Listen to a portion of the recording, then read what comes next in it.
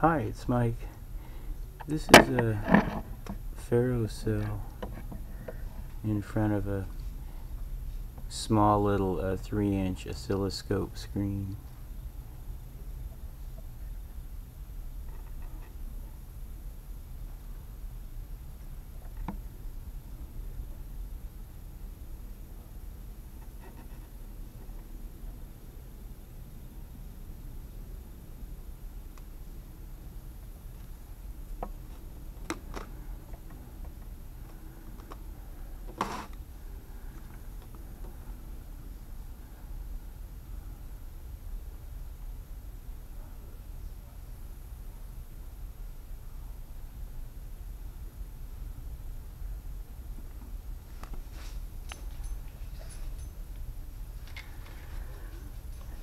But this really isn't. Oh, it keeps wanting to stick to the top.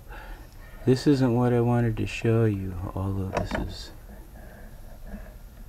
too cool. I love it. Oh, look at that. Um, there goes, um, I made a cool discovery. Um, it's really cool. And, uh, think it's amazing and uh, you're probably going to be wanting to buy this little oscilloscope after you see what I found you can do with it. So my plan, turn on a light here.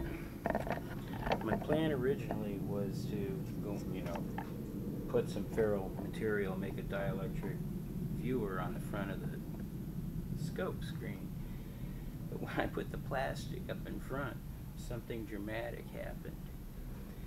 Um, and since then I kind of refined it. So I have a piece of plastic with an ABS ring, which just slips right over the tube.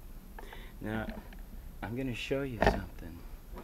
Um, the tube itself supposedly shoots an electron beam. I, I think it's more like a cathode perturbation tube. Um, if I move my finger, you can see that the beam's on the other side of the glass. Um, I mean, obviously it's in the vacuum, and it's a. I'm not affecting it too much here, so. But I'm just. This is a. This thing I found out is so cool. Watch this. I'm going to put my piece of uh, plastic over the screen.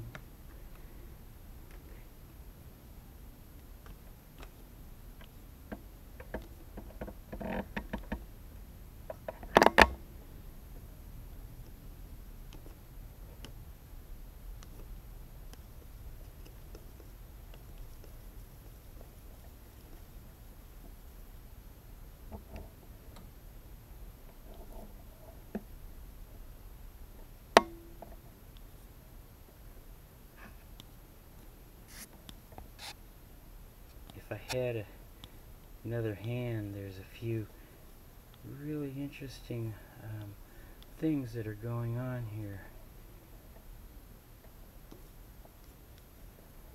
Obviously my field is affecting.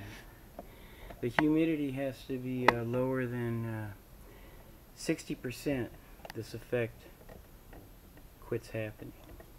Or probably doesn't quit happening, but it's not as obvious as what this is going on. This dielectric bubble is snapping, breaking loose, and if I can play this with two hands, let's see here. You you can get some crazy snapbacks. Um, it's like a touch screen. Um, so, this is so sensitive to the electrostatic charge, dielectric field. Um, I think that there's some other cool uses right off the bat for this. Uh, one of them is uh, I heard that bees don't fly, they levitate or hover with a dielectric bubble. So I think if a bee sat on this and flapped his wings, I think something would would show up.